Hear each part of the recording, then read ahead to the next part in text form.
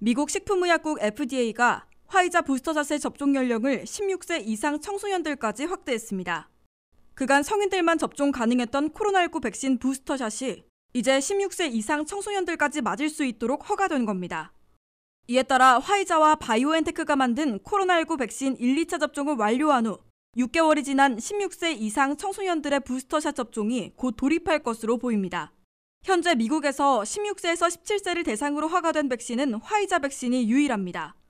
FDA 사무총장 대행은 성명을 통해 백신 접종과 마스크 착용, 사람이 많은 곳을 피하는 등의 기본적인 수칙이 여전히 코로나19 퇴치를 위한 가장 효과적인 방법이라고 밝히면서 연말을 맞아 사람들이 가족, 친구들과 실내에 모이는 만큼 백신과 부스터샷 접종이 계속되는 감염으로부터 예방해주는 최고의 보호책으로 남아있다고 말했습니다.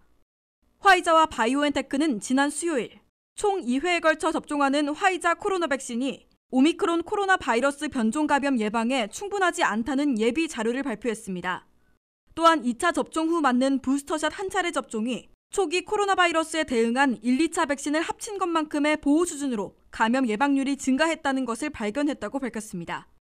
엘버트 블라 화이자 CEO는 성명에서 FDA의 청소년 부스터샷에 대한 긴급 사용 허가 결정은 현재 우리가 바이러스와 싸우는데 중요한 변곡점이 될 수 있다며 오미크론을 포함한 새로운 변종이 전 세계적으로 등장하지만 코로나19 확산을 최소화하는 가장 좋은 방법은 백신 1, 2차 접종에 이어 부스터샷까지 완전히 접종하는 것이라고 믿는다고 백신 접종을 권고했습니다.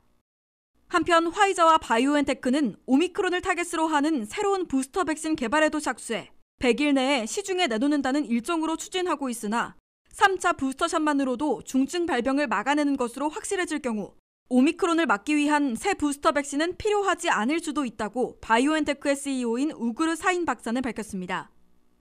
반면 모더나 백신을 미국 정부와 공동 개발한 모더나사의 스테판 반셀 CEO는 현재 백신이 오미크론을 막아내는데 효과가 떨어질 수 있다고 보고 새로운 부스터 백신을 개발하는데 주력하고 있다고 발표한 바 있습니다. WKTV 뉴스 김지수입니다.